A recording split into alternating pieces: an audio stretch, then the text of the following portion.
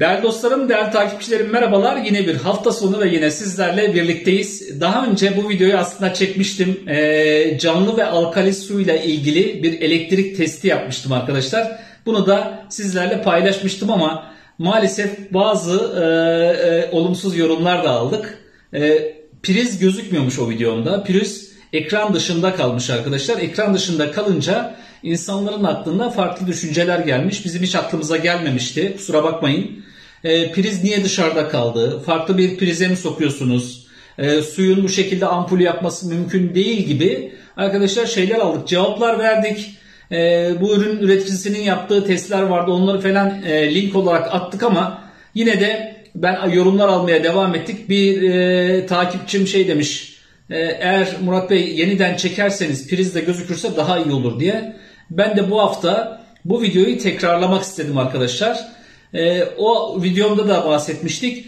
Canlandırılmış bir su, e, pH değeri yükseltilmiş, içindeki mineral sayısı arttırılmış bir suyun arkadaşlar iletkenliği artar e, ve e, bunu da şeyle ispatlayabiliriz demiştik. Yani elektrik testiyle. Bakın burada prizimiz burada arkadaşlar. İnşallah görünüyordur. Hep ekranda kalmasını istiyorum. Bir düzenek var bakın. Burada bir fiş var. Burada da bir fiş var arkadaşlar. Yani aslında bu fişin bir e, tarafı işte ampule bağlı arkadaşlar. Bir tarafı bu prize bağlı. Bu fişe bağlı. Bu fişle suyu iletken bir şeyi tamamladığımızda arkadaş aslında devre tamamlanacak ve ampulü yakması gerekiyor. Şimdi bu suları arkadaşlar evdeki arıtma cihazından aldım. Arıtma cihazları evet güzel. Ağır metalleri filtreliyor. Ama sıkıntısı şu. E, içinde doğru mineral bırakmıyor maalesef. Bakın arkadaşlar pir, fişi suyun içerisine sokuyorum. Ampulüm yanmıyor. İki bardak getirdim. Birazdan neyi getirdim anlayacaksınız. Bakın gene yanmıyor. İkisine de soktum yanmıyor. Bu arada karıştırınca mı acaba bir şeyler ortaya çıkıyor dediler. Karıştırıp bir daha yapacağım. Aklınızda hiçbir soru kalmasını istemiyorum arkadaşlar. Bakın gene bandırdım. Fişi gene soktum. Ampul gene yanmadı arkadaşlar. Şimdi bakın damlayı aldım. Alkamine damla arkadaşlar patentli bir ürün 100 ülkeye de gönderiliyor. Himalaya tuzu ana kaynaklı. Pot, potasyum sodyum dengesinde üretilmiş bir ürün. Bu çok önemli bir nokta. Şimdi bu üründen 3 tane damla damlatacağım. Bir tane bardağın bir tanesine. Bakın şuradakine. 1, 2, 3 damla damlattım arkadaşlar. Her bardağa 3 damla öneriliyor. Bunu damlattığım andan itibaren daha önceki videolarımda görebilirsiniz. pH değerini 10.5'un üzerine çıkarttım. İçindeki mineral sayısını da arkadaşlar 450'nin üstüne çıkarttım bu suda. Şimdi bu suyu da karıştırıyorum bir şöyle. Bakın arkadaşlar.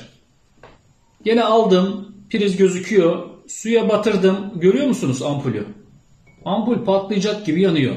Yandakine damlatmadım biliyorsunuz. Bakın. Soktum. Şöyle göstereyim. Suya girdiğini görüyorsunuz herhalde. Yanmıyor. Buraya sokuyorum. Yanıyor arkadaşlar. Bakın burada. Hayır. Herhangi bir yanma yok. Neden? Çünkü bunun içerisinde doğru dürüst mineral yok. iletkenlik yok arkadaşlar. Bu suyun, şu suyun sadece serinlik gidermeden başka bir faydası yok vücudumuza. %95'i arkadaşlar idrarla dışarı atılıyor. %5 civarı emilirse emiliyor vücudumuz tarafından. Neden? Ee, bekleye bekleye arıtmanın deposunda arkadaşlar ya da bir damacanada ya da bir sürahide vesaire 10 saatten fazla bekleyen her su ölüyor. Molekülleri büyüyor. Hücrelerimizden geçemiyor. E içindeki mineral sayısını ölçmüştük arkadaşlar 25'lerde 30'larda geziyor. Bu da içinde mineral yok denecek kadar az. Neden? İletken olabilmesi için en az 200 mineral olması lazım. Kaliteli suda da 400'ün üstünde olması lazım. İşte bu alkamine damla da bu işe sağlıyor. Tablayla arkadaşlar üstüne sürahiyi koyduk, bardağımızı koyduk ya da pet şişemizi koyduk vesaire 5 dakika içerisinde moleküller küçülür. Vücut tüm hücreleri tarafından bu suyu emebilir. O hale getiririz. İçine damla damlattığımızda da pH değerini 10-10.5'un üstüne taşırız. İçindeki mineral sayısını 400-450'nin üstüne taşırız.